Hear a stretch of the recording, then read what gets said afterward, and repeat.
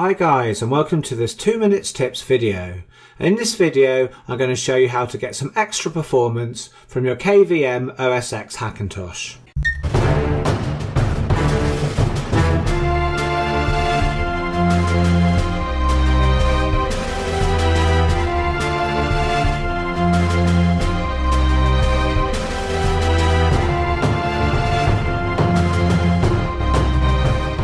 A while back I got asked on the LimeTech forums why I exposed some additional CPU features in the XML. So, when we make an OSX VM, as you know, we have to emulate an Intel Penryn CPU for any OSX system from Sierra and onwards to boot.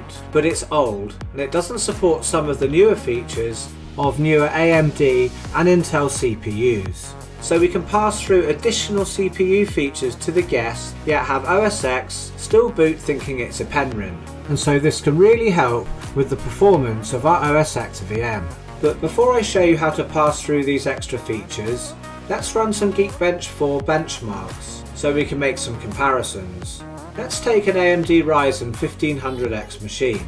First let's look at the 1500X as a bare metal regular Hackintosh and I got a single core score of 4250 and a multi-core score of 15469. So let's compare that score to a regular KVM OS X VM without any additional CPU features passed through. And this time I got a single score score of 3670 and a multi-core score of 13196. Now it is to be expected that a VM will not have the performance of bare metal, but the difference shouldn't be by so much. So let's look more closely at the scores we just got. And we can see here that the AES scores are very low, single core being 195 and multi-core only 922.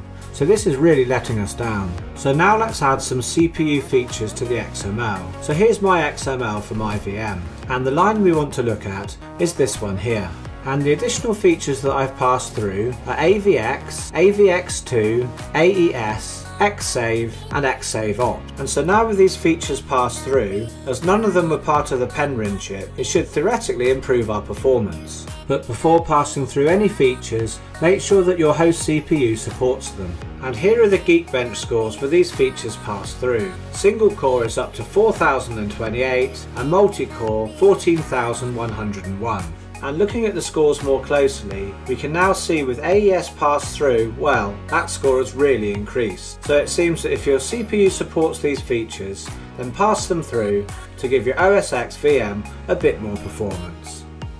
So that's the end of this 2 minute tips. Well, it went a little bit over time, but not by too much. And if you liked it then, please hit the like button and subscribe to the channel.